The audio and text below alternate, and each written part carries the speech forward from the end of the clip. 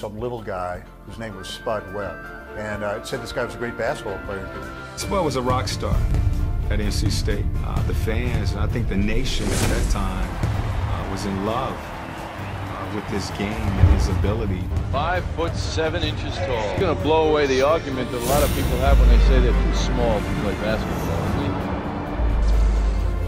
Spud Webb sees the opening and takes advantage beautifully. Here's a guy that comes in and digs his way through, and I mean, that's the American dream. The underdog, the guy who everybody thought couldn't make it. Five foot seven inch Spud Webb.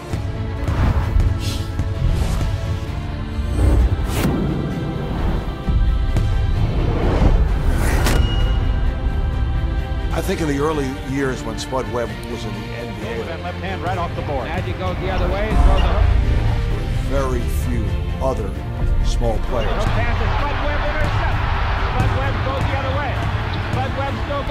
Many people took him serious at five foot seven. Give the ball to Dominique. as most little guys uh, do with the Napoleon complex. I'm going to come in here, I'm going to win it. All the eyes are against me. He was actually a freak of nature. I had never seen anything like him.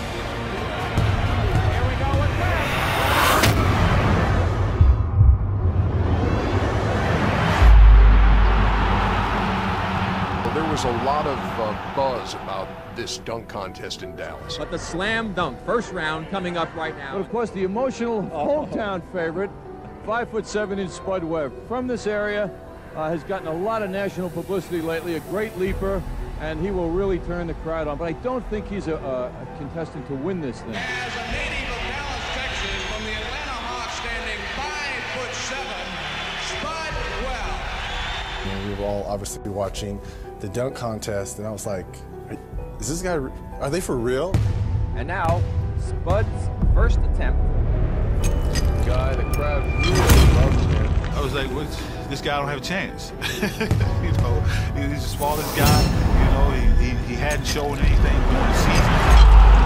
It was the most surprising performance of any slam dunk contest I've ever seen in my life. Nobody gave him a chance, including myself. Look how high up he is, five feet seven. A 50 from Spud Webb, and a deserved mark for sure. I, I don't think there'll never be, uh, in terms of an underdog performance like Spud.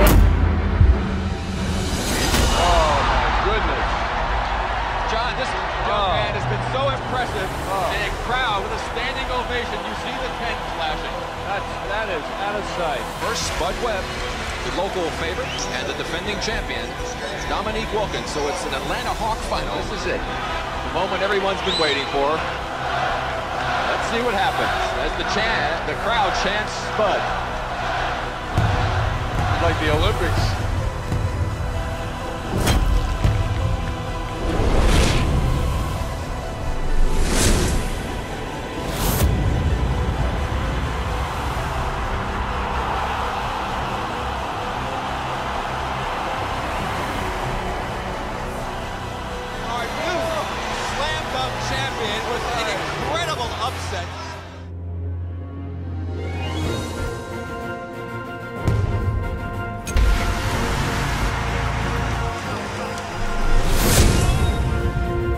Before came along, guys that were six feet and under, you really didn't think of. You, first of all, you didn't think they could dunk.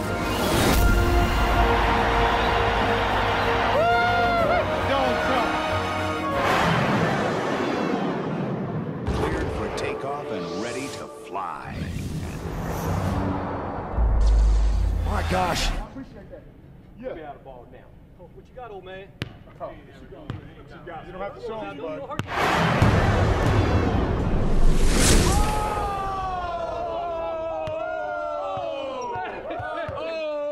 Keep practicing, son.